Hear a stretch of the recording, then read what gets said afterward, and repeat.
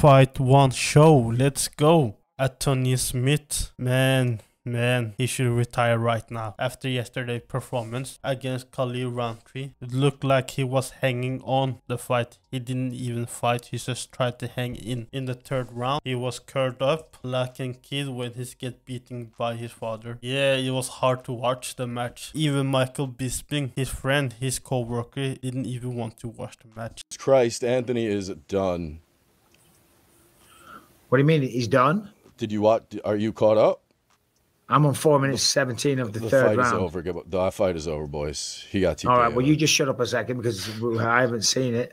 Are we not? Oh, there it is. There it is. Oh fuck! It's over for sure. Ah shit. Shit. Sorry, I thought uh, I thought. We No, no, you're good. You're a few seconds size. ahead. It's all Oof. good. Uh, I'm very Nah. happy Cleo didn't follow up with the big old shot he had loaded up. Thankfully, Yep. I mean. God bless him for that because other people would have done. I've been on the receiving end of them, but uh, hey, that's it. That's the game. That's the the fucking replay. game. You dare to be great.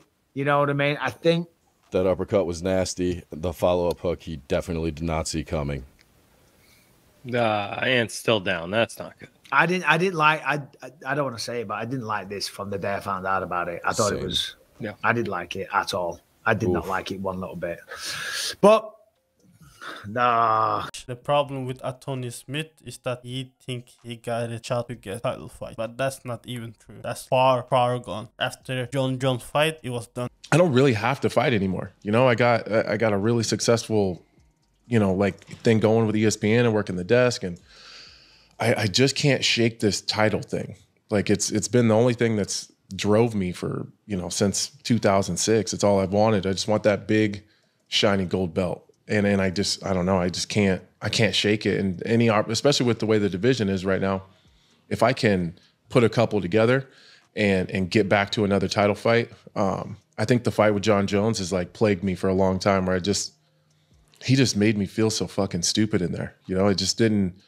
I don't know if it was. It was just maybe it was a bit early. I hadn't been in the weight class long enough, maybe. But He should retire right now. What's your thoughts on Antonio Smith? Should Antonio Smith continue fighting or should he retire right now? And I'm out. Part one show.